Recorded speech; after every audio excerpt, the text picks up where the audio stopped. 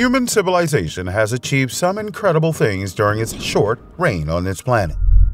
Technological development over the past 5,000 years of human civilization has led our species to dominance of life on Earth and placed us on a pathway to achieving a Type 1 civilization.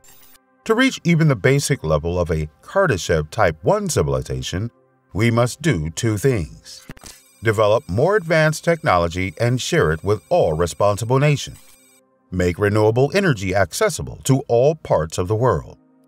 500 years ago, the Aztec civilization believed that the sun and all its power was sustained by blood from human sacrifice. Today, we know that the sun, along with all other stars, is powered by a reaction called nuclear fusion. Scientists and engineers have studied the sun's fusion process in hopes of developing a way to harness energy from fusion in machines on Earth. What exactly is nuclear fusion, and how does it work in terms of producing electricity? Professor Dennis Whyte is director of the Plasma Science and Fusion Center at the Massachusetts Institute of Technology. He explores the challenges in nuclear fusion and explains how the fusion energy can be realized here on Earth. So fusion is simply the power source of the universe. So as you know, we have a lot of challenges around energy and how we make clean energy in a sustainable form. And the way I say the universe is already voted. Fusion is actually the power source of the universe because almost every energy source we use is actually fusion at its core. Solar power is fusion because it comes from the sun. Wind as well too. Actually, oil and petroleum is also fusion power because it's just basically stored solar power far beneath the Earth. And stars work by the fact that they're very large balls of hydrogen, the most abundant element in the universe. And they basically convert that hydrogen into helium to make energy. And we know how effective an energy source it is. It lasts for tens of billions of years in our own sun. On Earth, the idea is that we bring it down to Earth as a sustainable terrestrial energy source. And what we do is we take the heavy forms of hydrogen, deuterium and tritium, we fuse them together, they release net energy as a result. Over billions of years, the gravitational forces at play in the universe have caused the hydrogen clouds of the early universe to gather into massive stellar bodies. In the extreme density and temperature of the stars, including our Sun, fusion occurs. Located a mere 93 million miles away from our planet's surface, the Sun is a thermonuclear fusion reaction. Without fusion, there would be no life on Earth. It is the energy source of the universe. Every second, our Sun turns 600 million tons of hydrogen into helium, releasing an enormous amount of energy. It continuously batters the Earth with 35,000 times the amount of energy required by all of us who now use electricity on the planet. Imagine if we could harness the same power source the Sun uses to solve our energy problems. If nuclear fusion can be replicated on Earth, it could provide virtually limitless clean, safe, and affordable energy to meet the world's energy demand. The effort has sometimes been likened to building a star on Earth. All stars are above 5,000 degrees, so everything's in the plasma state. Plasma is the fourth state of matter.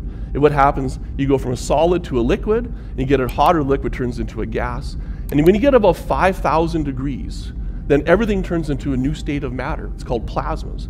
The problem is, so why is this hard? Because what happens in a sun is that in order to get it hot, you need a containment system. And the containment system of a sun is its own gravity, it's just its own mass. So at the center of the sun, it can basically hold itself. But gravitational force, it turns out, is very weak force. It's the weakest of the natural forces.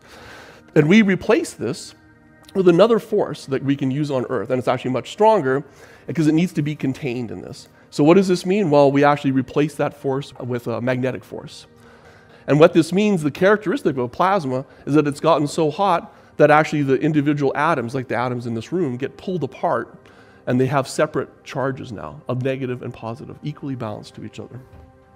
So we exploit this force called the Lorentz force, which is a magnetic field which forces the plasma particles to basically execute loops around the lines which are there.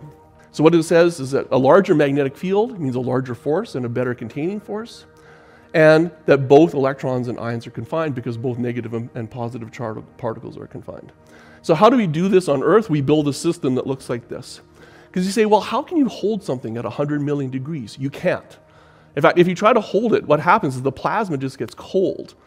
It's, and it sounds dangerous 100 million degrees. It's the opposite of dangerous because it actually has, it, doesn't want to stay hot. So you basically trick it into not knowing it's on Earth. It thinks it's, its, it's a star. So you build a containment system that is built out of electromagnets. And how, is, how do you do so? That magnetic force comes from an electromagnet. An electromagnet is simply you take electricity and you put it in a loop, and it's going to make that magnetic field. Why is this important? It's because the thing that's making the force is doing it without physically touching it. It's an action at a distance. So these electromagnets actually have no idea they're confining the plasma, and the plasma has no idea it's being confined by the magnetic field by these electromagnets. It just feels it like this. Nuclear fusion reactions power the sun and other stars. In a fusion reaction, two like nuclei merge to form a singular, heavier nucleus. The process releases energy because the total mass of the resulting singular nucleus is less than the mass of the two original nuclei. The leftover mass becomes energy. Einstein's equation, E equals mc squared, on the most basic level, says that mass and energy can be converted into each other, which explains why this process occurs. So, why don't we have nuclear fusion power yet? This is an extremely powerful but complicated phenomenon, which can involve many different elements in a periodic table. However, researchers working on fusion energy applications are especially interested in a deuterium-tritium DT fusion reaction. Well, so deuterium is naturally occurring. Tritium has a very short uh, lifetime. And so it decays in nature. There is no tritium source. So this doesn't sound like a good energy source. There's no fuel source. So the thermal neutron interacts with that lithium, makes tritium, and then you take that tritium particle and you recycle it and you put it back into the plasma. So it's a fuel system that actually creates its own fuel. I know that sounds like cheating, but that's actually because it's the wrong way to describe it. Tritium is not the fuel of fusion, it's the catalyst of fusion. So it's the equivalent of what you would have in a chemical reaction.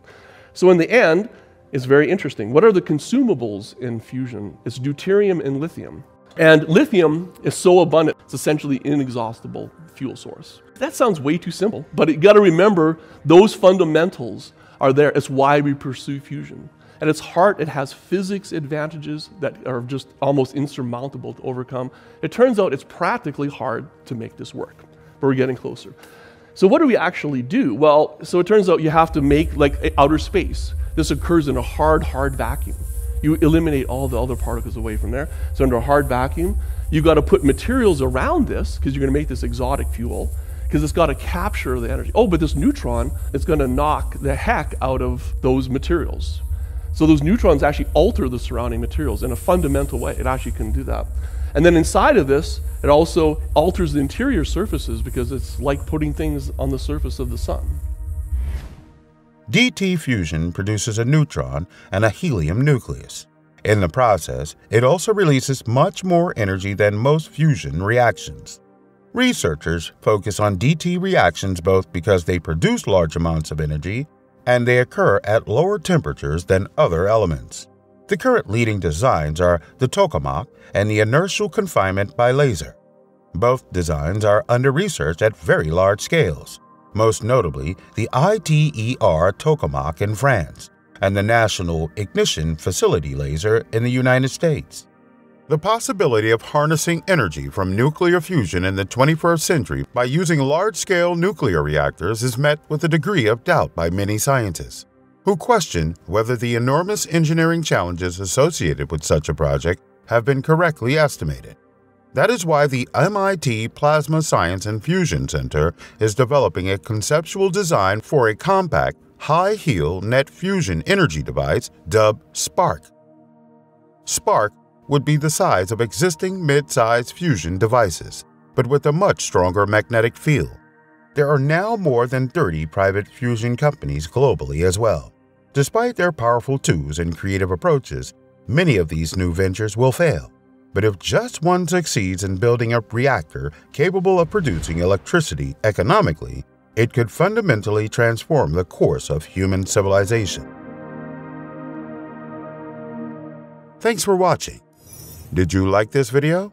Then show your support by liking, subscribing, and ringing the bell to never miss videos like this.